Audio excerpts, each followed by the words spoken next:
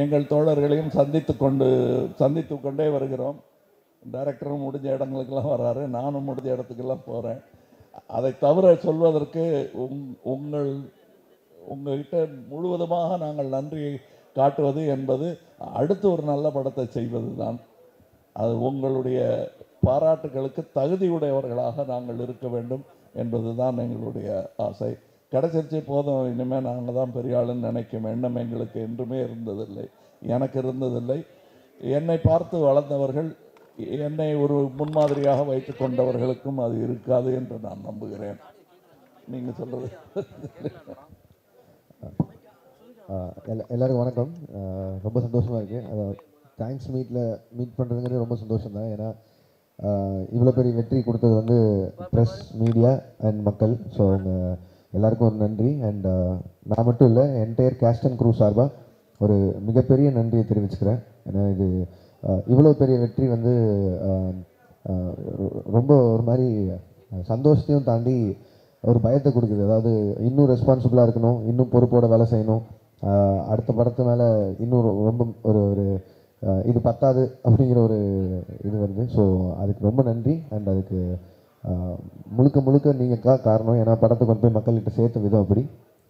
So எவ்வளோ நன்றி சொன்னாலும் பத்தாது so but thank you so much அனைவருக்கும் நன்றி. நன்றி.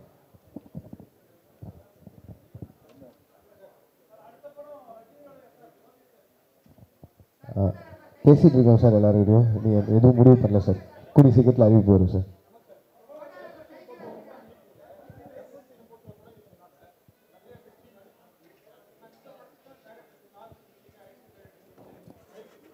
இல்லை இப்போ தான் நீங்கள் அதெல்லாம் போடுறீங்க. இதுக்கு முன்னாடி நடந்திருக்கு ஆனால் அமைதியாக நடக்கும் அதெல்லாம். வெற்றியே கூட அமைதியாக தான் நடக்கும். மறந்து போயிடுவோம் அப்புறம். எ- நிறையா செல்வர் ஜூப்ளி வந்திருக்கு நிறையா விஷயங்கள் நடந்திருக்கு. பட் இப்போ வந்து எது செஞ்சாலும் தும்மினா கூட அது ஒரு பீரங்கி வெடித்த சத்தத்துக்கு இது பிரதிபலிக்கப்படுகிறது. அது இன்றைய ஊடக பலம் அது. நன்றி. Sir sir Vikram.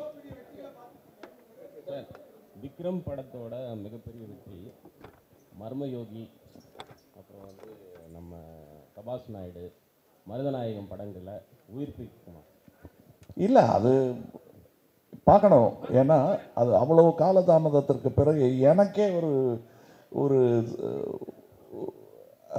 டிஸ்இன்ட்ரெஸ்ட்னு சொல்லுவாங்க இல்லையா? அந்த மாதிரி ஒரு அசிரத்தைன்னு சொல்ல முடியாது. நான் சிரத்தை இல்லாமல் எதையும் செய்யக்கூடாது என்று நினைப்பவன் நான். பார்க்கணும். அது ஏன்னா எனக்கு புதுசு புதுசாக செய்யணும். அது கூடயே வாழ்ந்துட்டேன் நான் ரொம்ப நாள். இப்போ அது எனக்கு பழசாக தெரியுது. என்னை பொறுத்தவரை நான் பார்த்த படம். நாங்கள் பார்த்த படம் தான் உங்களுக்கு விருந்தாக படைக்கப்படுகிறது. ரொம்ப வாட்டி பார்த்துட்டேனோங்கிற ஒரு ஃபீலிங் தேவைப்படும் என்றால் அதற்கு தயாராக இருப்பவர்கள் வர வேண்டும். கூட இணைந்து தனியாக மாட்டிக்கக்கூடாதுங்கிறது எனக்கு அந்த படங்கள் சொல்லி கொடுத்த பாடம். கமல் சார் கமல் சார் ஒரு கொஸ்டின் சார் அதாவது sir Vikram sir Vikram sir sir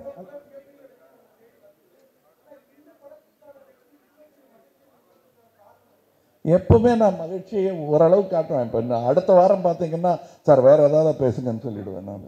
இந்த வாரத்தை நான் அனுபவித்து கொண்டிருக்கிறேன். சந்தோஷமாக இருக்குது இதே மாதிரி அபூர்வ சகோதரர்கள் வெற்றியும் நான் ரொம்ப சந்தோஷமாக இருந்தேன். விடாமல் தொடர்ச்சியாக அது என்னென்னா அது இந்த மாதிரி ஒரே நேரத்தில் ஆல் இண்டியா போகாமல் ஒரு ஆறு மாத இடைவேளைக்கு பிறகு மறுபடியும் அது வந்து ஹிந்திக்கு போச்சு. அங்கேயும் வெற்றி பெற்றது.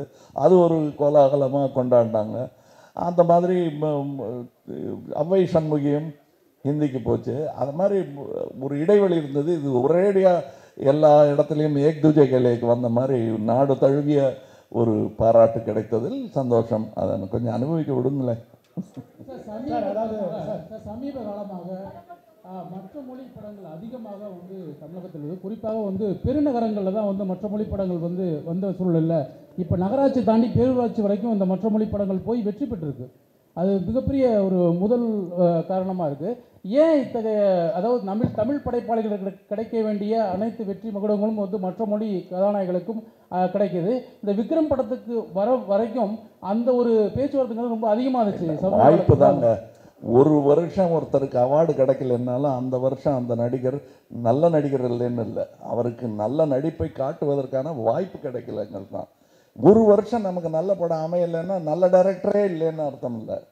அவங்களுக்கு அந்த வாய்ப்பு கிடைக்கல. இப்போ இப்போ ஒரு கேட்டார் நாலஞ்சு படத்து பேரை சொல்லி அதெல்லாம் மீட்டெடுக்க முடியுமான்னு. அந்த படங்கள் வராமல் போனது எனக்கு நஷ்டம் தானே. அதில் காட்ட வேண்டிய திறமையை உங்ககிட்ட நான் காட்ட முடியலையேங்கிற ஆதங்கங்கள் தான் இருக்கிறது. வடநாட்டுக்கு போயிருக்கும்போது என்ன ஒரே தெக்கத்து ஆதிக்கமாக இருக்கேங்கிறத ஒரு துவனியில் அவர்கள் கேட்டபோது நான் சொன்னேன் சூரியன்லேயே உத்தராயணம் தட்சிணாயணம்னு இருக்குங்க. மாறி மாறி வரும். என்னை பொறுத்தவரையிலும் இந்திய படம் வெற்றி பெற்றது என்று பெருமை கொள்வது தான் நல்லது என்று நினைக்கிறேன். ஏன்னா நாங்கள் அப்படி தான் ஷோலையை பார்த்தோம். நாங்கள் அப்படி தான் ஆராதனாவை பார்த்தோம். ஆராதனை மொழி தெரியாத அந்த படத்துக்கு சப்டைட்டில் கூட கிடையாது. இசை மட்டுமே உதவியாக இருந்தது. அதுக்கப்புறம் அதில் இருந்த நடிகர்கள் நட்சத்திர முகங்கள் அந்த மாதிரி மாறி மாறி நடக்கத்தான் செய்யும். அது தொடர்ந்து நடக்க வேண்டும் என்பது தான் பலரின் வேண்டுகோளாக இருக்கும்.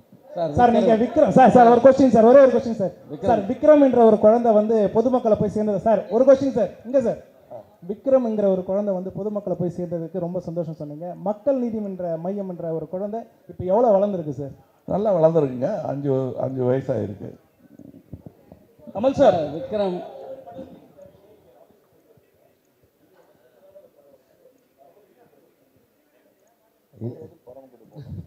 நான் அவர் இருக்கேன். போனோம் நான் பரமக்குடி போனோம் நான் பரமக்குடிக்கு போகணுங்கிறது வந்து பட வெற்றிக்காக மட்டுமே போக மாட்டேன் சும்மாவே போவேன். இல்லை படம் ரிலீஸ்க்கு முன்னாடி சார் பரமக்குடியில இருந்து தான் போயிட்டு வந்திருந்திருப்பேன். அவர் இங்கே தான் இருந்தார். அதனால் எனக்கு அங்கே போக வேண்டிய கடமை இல்லை. ராமேஸ்வரம் போகிறது எனக்கு சென்டிமெண்ட்லாம் ஒரு பிடிக்கும். அதனால போயிட்டு வந்தேன் லோகேஷ் உங்களுக்கு தான் ஒரு கேள்வி. பெரும்பாலும் தமிழ் சினிமாவை பொறுத்த வரைக்கும் பார்த்தீங்கன்னா முன்னணி கதாநாயகர்கள் இருக்காங்களேங்க அவங்களுக்கு வந்து கண்டிப்பாக அவங்க தான் டாமினேட் பண்ணணுவாங்க பட் கமல் சாரை பொறுத்த வரைக்கும் ஃபர்ஸ்ட் ஹாஃப்ல வந்து அவர் எதிர்பார்த்த அளவுக்கு டைலாக்ஸே கிடையாது சார் பட் எப்படி கன்வின்ஸ் பண்ணீங்க? ஏன்னா எந்த ஒரு நடிகரும் பெரிய கதாநாயகர்கள் ஒத்துக்கவே மாட்டாங்க. பட் கமல் சார் ஒத்துக்கினார். அது எப்படி? ஒரு பதில் அவர் சொல்கிறதுக்கு முன்னாடி சொல்லிடுறேன். ஃபர்ஸ்ட் ஹாஃபில் தான் டயலாக் இல்லாமல் இருந்தது. அதுவும் குறைவாக இருந்தது. நான் டைலாகாக இல்லாமல் நடிச்சிருக்கேன். அதனால என்னை அவர் கன்வின்ஸ் பண்ணுறது பெரிய கஷ்டமாக இருந்திருக்கு. இல்லை அதே தான் சார். அது பதில் சொல்லிட்டாரு. எக்ஸ்பெரிமெண்ட்ஸ் மட்டுமே பண்ணி பண்ணி காமிச்சவர். ஸோ அதனால இது ஒரு எக்ஸ்பெரிமெண்ட் இது ஒரு புது முயற்சின்னு போய் சொல்லும்போது அதை முன்னாடி நின்று வரவேற்றார். ஐ மீன் மொதல் ஃபர்ஸ்ட் ஹாஃபில் வந்து ஒரு டைலாக் தான் இருக்கும் அப்படின்னு சொன்னதுக்கு வந்து உடனே ஓகே சொன்னார். ஸோ அது அப்படி தான் அவர் எக்ஸ்பெரிமெண்ட்ஸே பார்த்து வந்திருக்காருல்ல. ஸோ எனக்கு ஈஸியாக இருந்தது.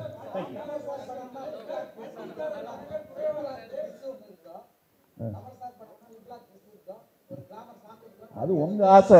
ஏன் ஆசை இல்லை அது. இல்லை இந்த படத்தில் ஹீரோயினே இல்லைல்ல அதனால அதுக்கான வாய்ப்பு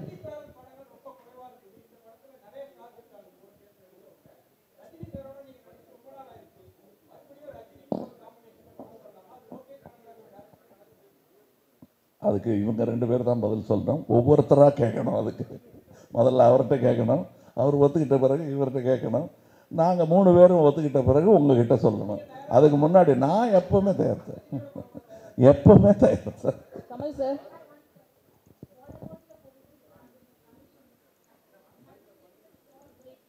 no I haven't taken breaks with film அது நடக்கும். பட் மற்றபடி அங்கே நடந்துக்கிட்டே இருக்கு. எங்கள் வேலைகள் தொடர்ந்து நடந்துக்கிட்டே இருக்கு. Yes yes yes Kamal sir. ராக்கெட்டை வச்சு மயமா பண்ணீங்க. அடுத்தது வந்து போதைப் பொருள் வச்சு மயமா பண்ணீங்க. விக்ரம் த்ரீ சூர்யாவை காட்டிட்டீங்க. சூர்யா வச்சு அடுத்தது என்ன பண்ண போறீங்க நீங்கள் விக்ரம் த்ரீல இதுக்கு அவர் தான் எனக்கு பதில் சொல்லணும் முதல்ல. அது எங்களுக்குள்ள பேசிட்டு அப்புறம் நான் கண்டிப்பாக சொல்லிடுவேன் எல்லாம். அது நீங்கள் ட்ரெய்லர் இப்போ விட சொல்கிறீங்க நாங்கள் ரெடி இல்லைங்க சொல்லிடுறோம். கமல் சார் எல்லா ஊருக்கும் போய் நீங்க சோலோவா promotion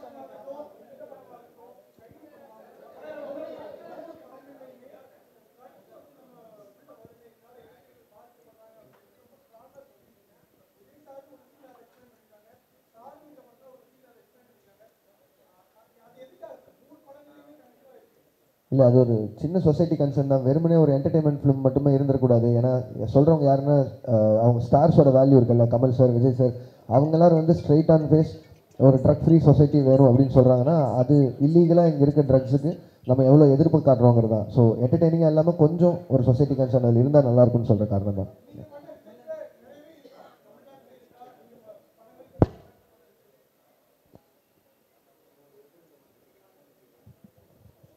Kamal sir. Kamal sir இந்த விக்ரம் படம் பொறுத்த வரைக்கும் நீங்க சோலோவா எல்லா ஊருக்குமே ப்ரமோஷன் பண்ணீங்க. அந்த எக்ஸ்பீரியன்ஸ் எப்படி இருந்தது? சோலோவெல்லாம் பண்ணலைங்க. எங்கெங்கே ஏன்னா நாலு பக்கமாக பிரிஞ்சு போய் பண்ணோம். அதில் நான் ஒரு கேம்ப்ஸில் இருக்கும்போது இவங்க வந்து ஃபைனல் எடிட் பண்ணியிருந்தாங்க. அங்கே வர முடியாது. ஸோ அவங்க கடைசி நிமிஷம் வரலாம் சின்ன சின்ன சின்ன வேலைகள் பார்த்துக்கிட்டே இருந்தாங்க. சென்சார் பண்ண வேண்டியிருந்தது. நாங்கள் இந்த பொ- பொறுப்பை பிரித்து எடுத்துக்கிட்டோம்.